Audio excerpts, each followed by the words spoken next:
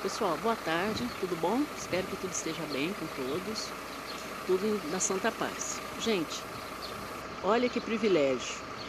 Eu tô aqui em frente à maior granja do Brasil. Gente, olha o tamanho dessa granja, né?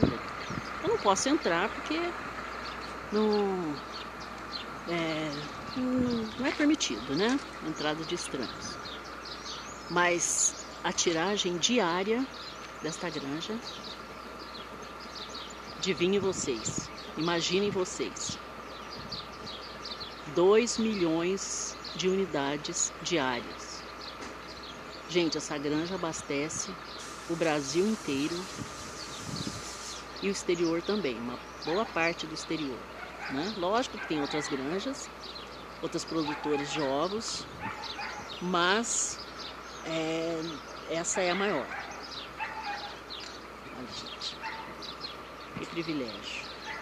Eu vim numa festa e esta granja fica próximo à festa.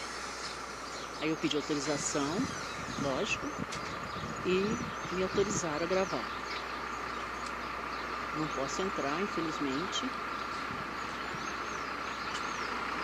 O caminhão carregando. Né? Mas já dá para ter uma ideia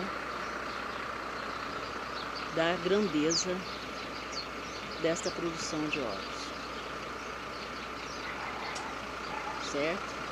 Então, quando for no supermercado é, comprar ovos, pode ser que esteja saindo daqui. Maior produtora de ovos não vou dizer o nome porque eu não estou fazendo propaganda, eu estou só mostrando, ok? Pessoal, muito obrigado por assistirem. Não se esqueça de dar um joinha, não se, não se esqueça de comentar. Fiquem todos com Deus. Muito obrigado, até o próximo vídeo.